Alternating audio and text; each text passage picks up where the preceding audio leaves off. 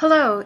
In a previous iPad tutorial, I showed you how to highlight text and define the highlighted text, add notes, or even get uh, more information about the text. But I used the tool that comes with your iPad called iBooks.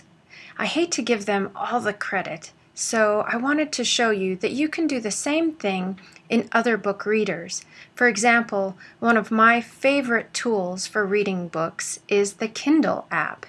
Um, I'm going to navigate to my books folder and just show you that I have the Kindle Cloud Reader app, which is free and works with your Amazon account. If you're an Amazon junkie like I am, you probably have hundreds of books and gadgets that you've purchased there. The Cloud Reader allows you to read your books from um, this app. So what I wanted to show you is how you can do the same thing, highlighting text in uh, a book that we did in iBooks, right in your Kindle Cloud Reader. I'm going to launch that app, the Kindle Cloud Reader, and you can see I have several books in my library. So I'm just going to grab the first book there. And it opens up. This is called Life, A Journey of Heart.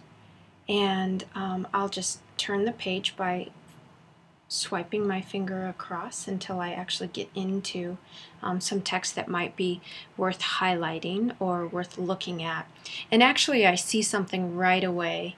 In the introduction section, the second sentence, this is my story. It is not written to offend or demean anyone. And the word demean might be a little bit confusing for people. So what we're going to do is we're actually going to tap on that word and when I say tap, I actually mean press on that word. Just tap it a little bit longer than a quick tap. And notice what happens is automatically the definition comes up. Demean. You can even have it pronounced for you if you click on the speaker. It tells you what parts of speech, gives you a definition, and all of those things.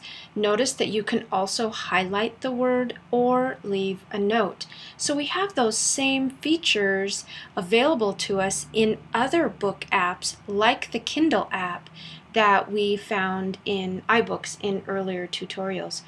Pretty nice feature, I think, if you're looking to add some educational meaning to your text um, you can do the same things in your Kindle Cloud Reader that you could in your iBook.